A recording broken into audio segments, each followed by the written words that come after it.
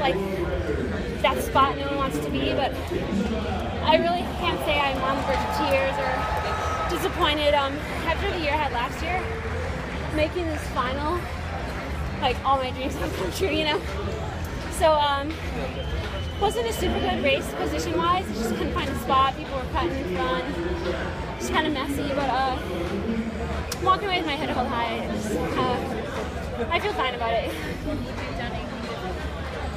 Um, would have gotten those two girls' heads and said, "Don't keep, don't let them gap us." You know, I was fine sitting in last if that means I had space, but uh, they just let them get. Sorry, they just let them get a little too far away. You know, um, I felt like I closed well, and if I would have had that gap, could have maybe snagged another spot, but uh, can't change it. So coming off of the year that you had last year, you know, you were hurt, and now, you know, being in the position you are today, I mean, what does that mean to you? Yeah, I mean, last year I was sitting on the couch watching World Champs outdoor, you know, and it was just like, oh, like I can do that, I can be there, huh?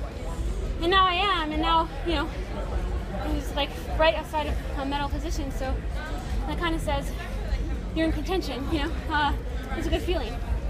How did this experience measure up to what your expectations were?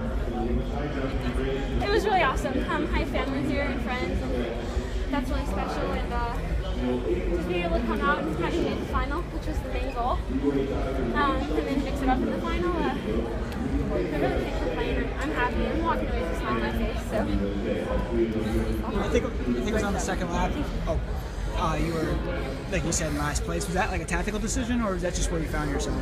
just kind of where I found myself. Um, sorry, it's so dry.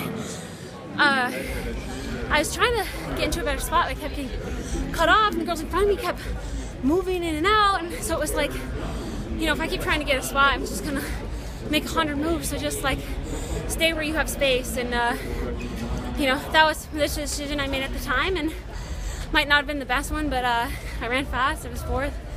What can you do? Does it give you a lot of confidence going to the outdoor season?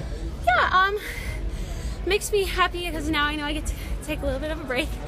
But uh, it'll definitely get me excited for starting some outdoor training here real, real soon.